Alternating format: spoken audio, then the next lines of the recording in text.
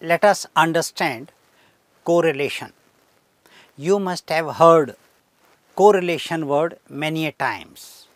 You might have also understood what exactly is correlation. So, let us once again try to understand the basics of correlation, different types of correlation, assumptions underlying the correlations of different types, different names of product moment correlation, how to write objectives for product moment correlation, how to write hypothesis for product moment correlation, how to analyze the data using SPSS and how to interpret the results. Correlation indicates the commonness between variables, higher percentage of commonness indicates stronger correlation. But one has to be very careful in interpreting the correlation coefficient in sciences as well as in social sciences. In sciences, a correlation of the order of 0.8 may not be very high, whereas in social sciences it may be very high. Different types of correlation. One is rank difference method of correlation.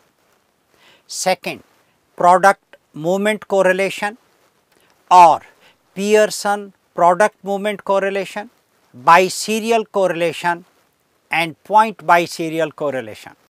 Rank different method of correlation should be used only and only if both the variables are on the ordinal scale. Product moment correlation or Pearson product moment correlation. It is to be used when the data of both the variables are on either interval scale or ratio scale that is both the variables are continuous variables. Biserial correlation. Biserial correlation should be used only if one variable is dichotomous that is divided into two parts or divided into two groups or divided into two categories but the another variable must be continuous that is its scale of measurement must be either on the interval scale or ratio scale. Point biserial correlation should be used only if one of the variable is dichotomized that is having two natural categories like male and female and the another variable must be a continuous variable that is its scale of measurement must be either interval scale or ratio scale. Product moment method was developed by Professor Karl Pearson. So, it is called Pearson product moment correlation it is denoted by small r. How to write objectives of a research whose data are to be analyzed with the help of a product moment correlation. The objective should be worded as to study the correlation between self-efficacy and emotional competence. How to formulate hypothesis the hypothesis should be formulated in the null form and it should be worded as there is no significant correlation between self efficacy and emotional competence. For testing the hypothesis product moment correlation method should be used and the data can be analyzed using statistical package for social sciences. The SPSS output is given in table 1.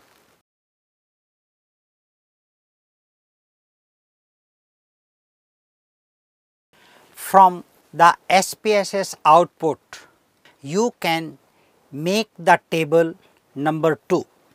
From table number 2, it is evident that the correlation coefficient is 0.61 which is significant at 0.01 level with df is equal to 298. It shows that there is a significant correlation between self efficacy and emotional competence of teachers. In this context, the null hypothesis that there is no significant correlation between self efficacy and emotional competence is rejected. Further, the commonness between the self efficacy and emotional competence is 36 percent.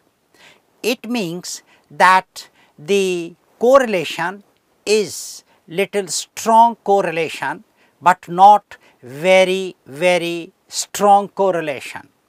Therefore, it may be said that the self efficacy and emotional competence of teachers were positively correlated. Let us take another example. The objective can be worded as to study the correlation between self efficacy and burnout of teachers.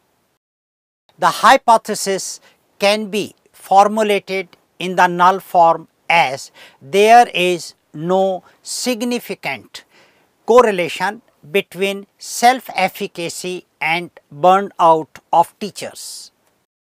For testing this hypothesis, the product moment correlation method should be used and the data can be analyzed with the help of statistical package for social sciences. The SPSS outputs are given in table 3.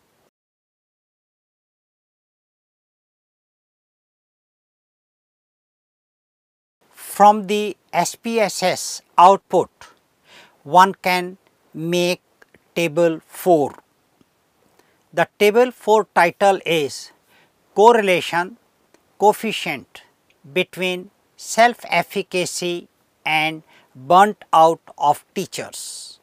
From table 4, it is evident that the correlation coefficient is minus 0.98 which is significant at 0.01 level with df equal to 298.